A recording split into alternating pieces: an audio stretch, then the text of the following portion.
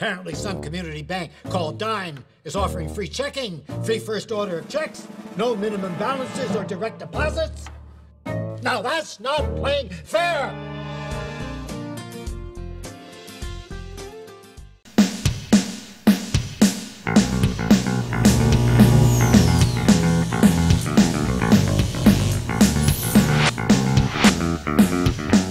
All right, what do you got for us this weekend?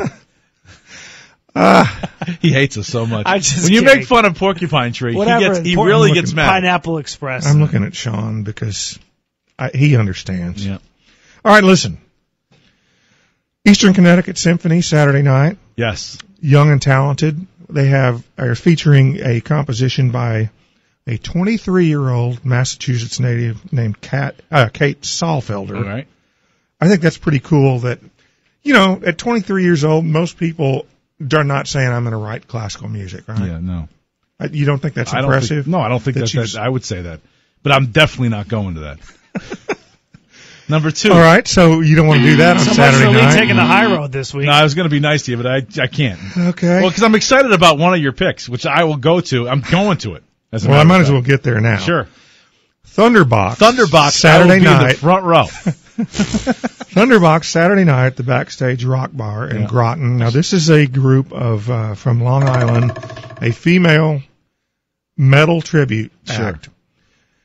A, the drummer and leader of the band, Natalie uh, Corville, Yep. is from New London. Sure. B, they're they're not like chicks going, oh, we can fake our way through a poison. Sure. These babes are throwing down Iron Maiden, Right. Anthrax, Metallica. In other words, they can shred. Okay. So So they they are coming. When is that? That Saturday show? night. All right, Saturday night. the B52s. Oh, I like them. Remember them? Yeah. They're Friday at the MGM Grand in Foxwoods. Oh, good. And I didn't know they were still doing Rock Lobster, but I guess they are. Can I throw in one fourth thing? Please do. because this guy's a really great player. Young Neal and the Vipers Oh, yeah. are coming back to the Bank Street Cafe. That's Saturday too. So three of those things are Saturday night. Wow. What are you going to do? What are you going to do? You know what? Saturday night by ten o'clock, Can you have some cocoa?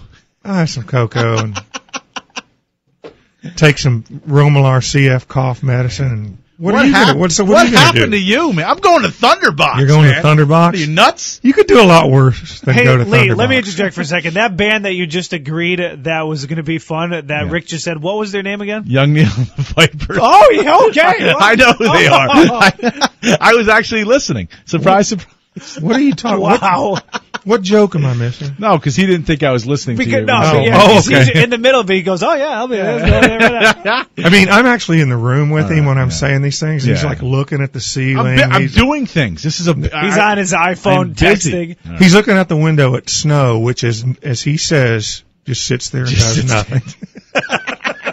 Rick, thank you for your segment. Up you. next.